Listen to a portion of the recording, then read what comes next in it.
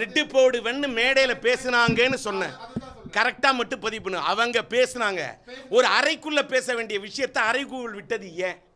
இதுக்கு அந்த தயாரிப்பாளர் மைக்கேல் ராயப்பன் வந்து நேரடியா வந்து செய்தியாளரை சந்திச்சு ஒரு பத்திரிகையாளர் சந்திச்சு என்ன வேணா கொடுக்கட்டும். ஒரு படம் ரிலீஸ் ஆன பிறகு ஆறு மாசம் கழிச்சு பேட்டி கொடுக்க வேண்டிய அவசியம் என்ன? மைக்கேல் ராயப்பன் வெறும் சினிமா தயாரிப்பாளர் இல்லை சார்.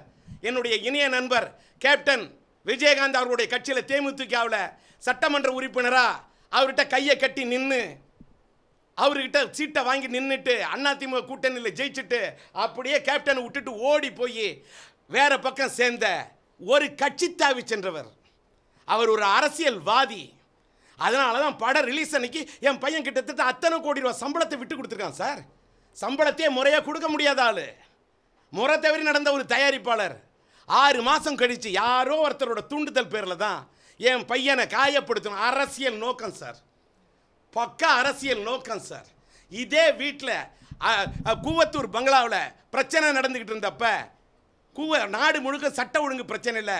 சிலம்பரசன் ஷூட்டிங் வரணும்னு கம்பல் பண்ணி அண்ணா ஒரு பெரிய கலாட்டா கும்பலை ஒரு ரவுடிசத்தை வீட்டுக்கு அழைச்சிட்டு வந்தப்ப வந்து அண்ணன் ஒரு கட்சி கொடி போட்ட வண்ணம் கொடி போட்ட வண்டியில் ஏறணும். பாதுகாப்பு இல்லை. நாடு முழுவதும் பாதுகாப்பு இல்லை வர மாட்டேன்னு சிம்பு சொன்னார். நாங்கள் பாதுகாப்பு தரோம் ரவுடிஸ் இருக்கு. நீ இந்த கட்சி கொடி போட்ட வண்டியில் ஏறினார். ஏன் எனக்கு அரசியல் வண்ணம் கிடையாது. நான் இந்த வண்டியில் ஏற மாட்டேன்னு என் பையன் சொன்னோன்னு. இந்த வீட்டில் அவ்வளோ பெரிய பிரச்சனை. போலீஸ்காரங்க தான் வந்து அப்புறப்படுத்துனாங்க. யாரை?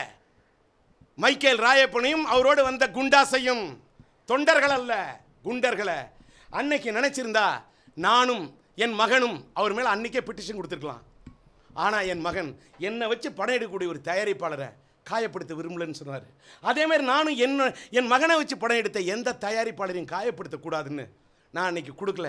ஆனால் படம் வெளியானதற்கு பிறகும் அன்னைக்கு அந்த கூவத்தூர் பங்களாவில் அந்த எம்எல்ஏக்கள் கூட்டத்தை வச்சுட்டு அங்கே ஏதோ ஃபிலிம் காட்ட வேண்டும் என்று நினைத்த ஒரு கனவு பழிக்காதனால ஒரு அரசியல் வண்ணம் போட்ட கொடி போட்ட காரில் என் மகன் ஏறாத காரணத்தால் ஒரு அரசியல் நோக்கத்தை வைத்துக்கொண்டு ஏதோ ஒரு தனியார் தொலைக்காட்சியோடு சேர்ந்து கொண்டு என்னையும் என் மகனையும் ஒழித்து கட்டே தீர வேண்டும் என்று மைக்கேல் ராயப்பன் கட் அவர் காணக்கூடிய கனவுக்கு சில பேர் துணை போய் கொண்டிருக்கிறார்கள்.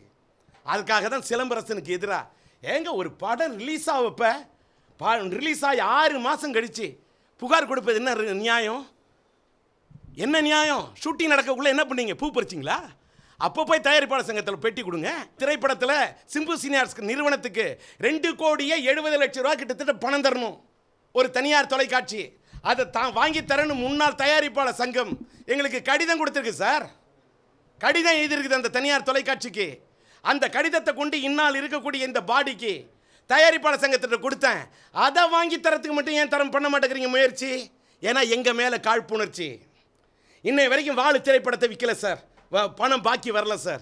இது நம்மால் திரைப்படத்தை ஒரு தனியார் தொலைக்காட்சி தானும் வாங்காமல் மற்றவர்களையும் வாங்க முடியாமல் வாங்க விடாமல் எனக்கு அவ்வளவு கொடுக்குறாங்க தொல்லை.